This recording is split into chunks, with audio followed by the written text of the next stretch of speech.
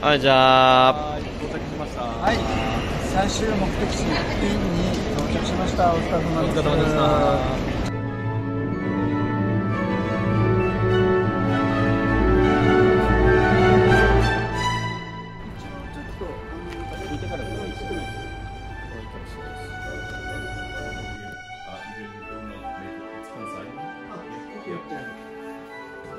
あ、えー、unknown makers in Reading, but uh, set up.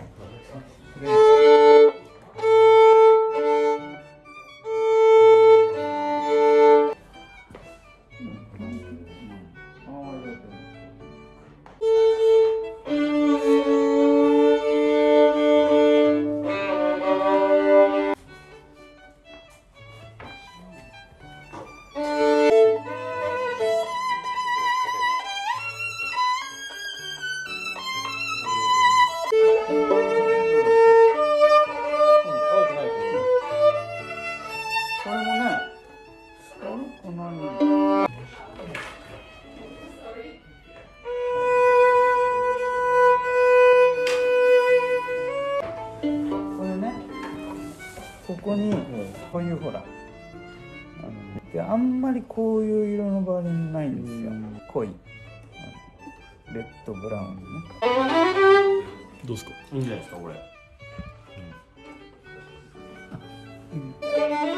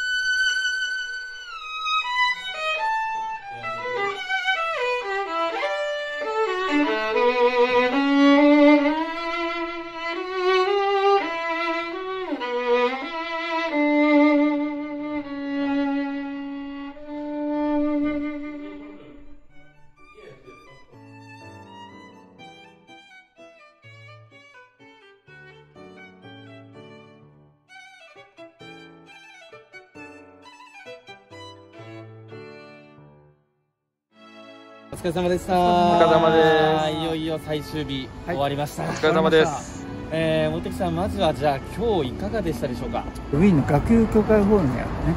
お店に行って結構時間かかりましたよね。はい充実してました。そうですね。はい。はい。あの予定より1時間くらい、えー伸びたんですが私たちのリクエストを本当に、えーよくあの聞いて準備してくれたおかげで迷っちゃいましたよね。絞るのになっちゃいました。はい、粒揃いの。はい、いい楽器がたくさんあって、はい。買い。付けができたと思いますちょっと予定よりもね多く買っちゃいました。はい、でその後、はい。ねあの初めてのところにはい。行ったんですけど、ちょっとここではあの目玉になるような楽器をね、えー、と全部見せてもらって、一本ですね。一本だけですが、素晴らしい素晴らしいですね、あのはこれもちょっとすごいもう私個人的には、い。もうおてきさんがもう絶賛して、はいぜひ。あのぜひこれは買い付けたいとちょっと私がまずあの仕入れたいとはい。お願いをしまして、はい。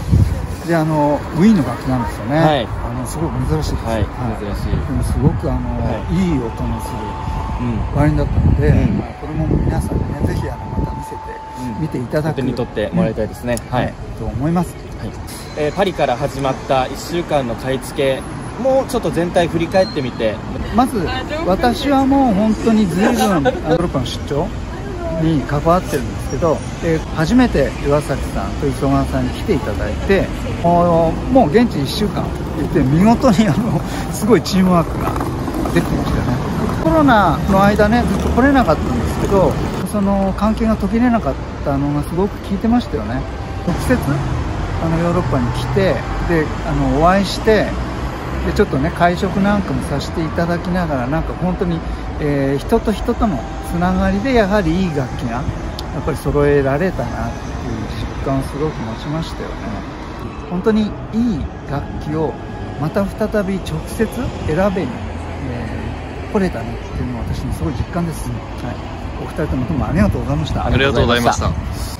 では、えー今回買い付けた楽器本当にたくさんあるんですけれどももう本当にすぐ皆さんに触ってもらいたい見てもらいたいという気持ちでいっぱいです。でまずは、まあ、日本に届いて、えーきっちり再度セットアップをして、えーじっくり見てもらえたらなと思います、えー最初5月から、えまずは秋葉原の弦楽器大展示会。その後に続く、まあ、島村楽器弦楽器フェスタ。で全国の会場でお届けいたしますのであの楽しみにお待ちいただければと思います。はい。では長旅でした、はい。まあ最後までちょっと、えー気をつけない、はい。締めて、ははい。い戻りたいと思います、はい。えー今日はこの辺で終わります、はい。お疲れ様でした、はい、お疲れ様でした。お疲れ様でした。お疲れ様でした